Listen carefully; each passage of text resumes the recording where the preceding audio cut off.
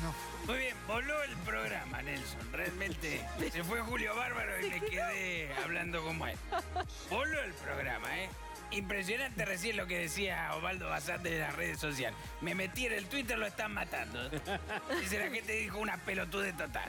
Pero bueno, ¿qué le vamos a hacer? ¿cómo está? Está- La verdad es que tendría que volver el austral.